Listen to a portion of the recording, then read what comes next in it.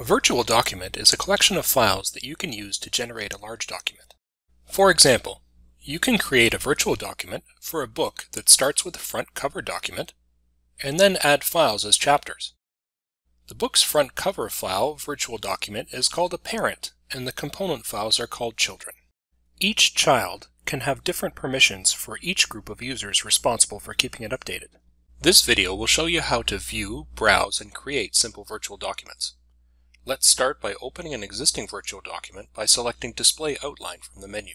The Virtual Document Outline allows you to browse virtual documents and change their structure using this tree view. The Properties pane shows the properties of each item, which you can edit. The Preview pane displays the contents of each item. You can drag and drop items in the tree view to change the order of the virtual document. Click Back to return to the previous view. Let's create a virtual document. In the doc list, find the document you want to use as the parent. Position your pointer over the item and select Convert to Virtual Document.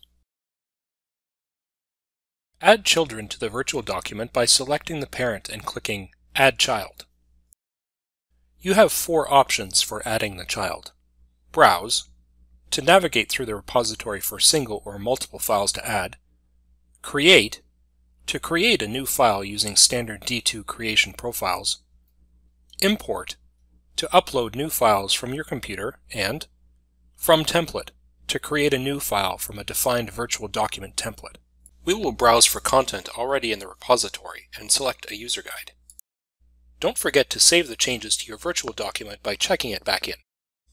Thanks for watching.